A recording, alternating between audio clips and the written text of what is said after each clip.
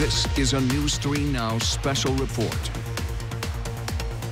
And thanks for watching this special report from Channel 3000. Let's get you caught up on the latest with the coronavirus pandemic. Starting tomorrow, all non-essential business in the state should end. That is the directive from the Evers administration today, and it is scheduled to last until April 24th, unless he sees a reason to end it earlier or extend it. Yesterday, the governor said this order will close non-essential businesses, but essential businesses can stay open. You are looking at a list of those industries right now, but it includes grocery stores, pharmacies, banks, gas stations, hardware stores, and social services providers. That's not exhaustive, but we do have a link to the entire list online. As state officials make those changes in an effort to prevent the spread, the number of cases keeps growing.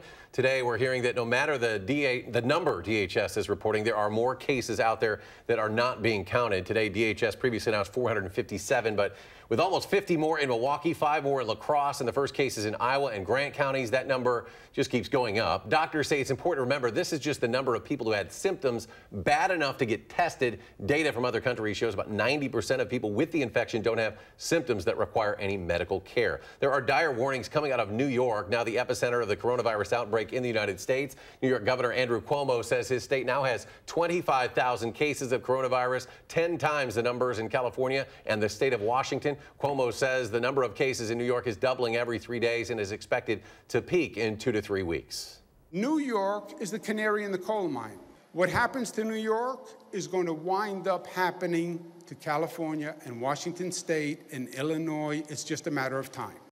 The White House is ordering anyone who traveled to New York City to self quarantine for 14 days. UW Health says it does not have enough data yet to determine how COVID-19 impacts women who are pregnant.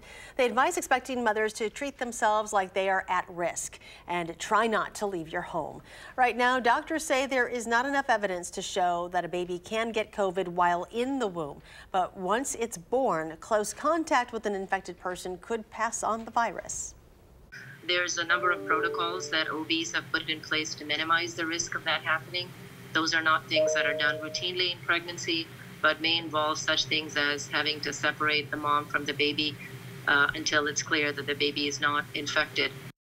If you have questions about your newborn's health during this time, please call your doctor. A local college helping doctors during COVID-19. Madison College officials announced this morning that it will, be, it will be lending 10 ventilators to local hospitals.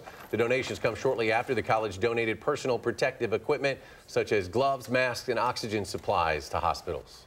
With the way things are happening in other places, uh, this type of equipment is going to be in short supply, so we really need to just do our part and make sure that what we have can get out to where it's needed.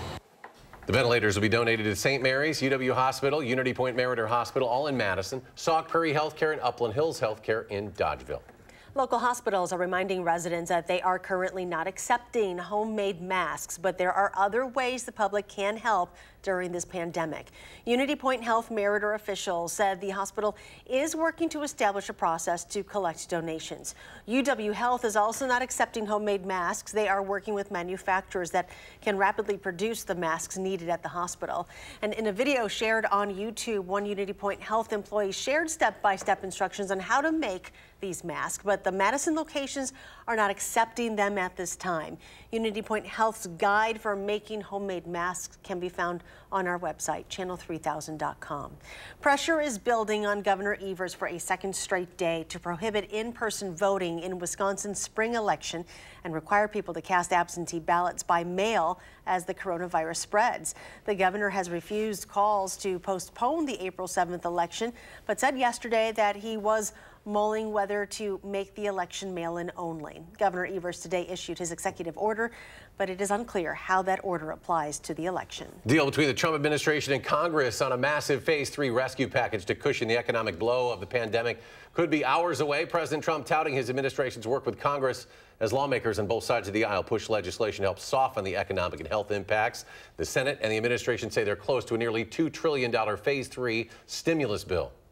Last night, I thought we were on the five yard line. Right now, we're on the two. Folks at home don't need we're close, they need this done.